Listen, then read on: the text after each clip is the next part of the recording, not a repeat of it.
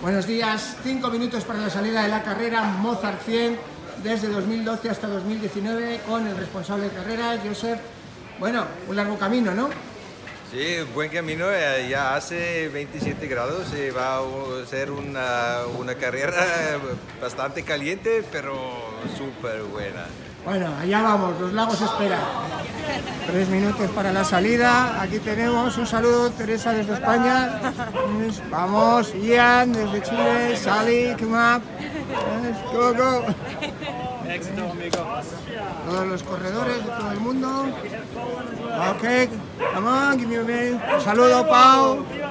Venga. Vamos. Y arriba al castillo. Bienvenida Teresa Núñez a la Mozart 100. Vamos a tener a Bárbara Campos, veíamos antes, vamos a tener a Sally McRae, 110 kilómetros, 5.000 metros por delante, 30 grados. ¿Cómo lo ves?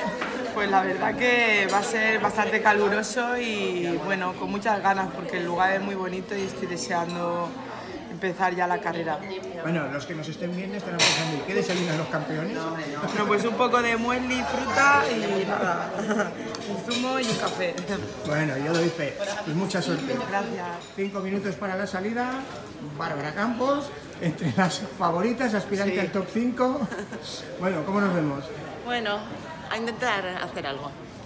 Ya veremos qué sale. Ahí está, boca pequeña, no entran moscas. Es Suerte. que cuando llega el momento da más miedo, ¿eh? Buenos días, Rubén Delgado, 24 horas menos para la salida de la Mozart 100. ¿Cómo lo ves? Bueno, ya sí, ya estamos en capilla, Sergio. Pues nada, acabamos de desayunar. Ahora pasaré a la habitación, pondré la ropa de correr y saldré a trotar un poquito, para estirar las piernas, encontrar sensaciones, acabaré rapidito, pa- con un progresivo y nada, y ya para preparar material para, para mañana. Bueno, mucha suerte. Gracias.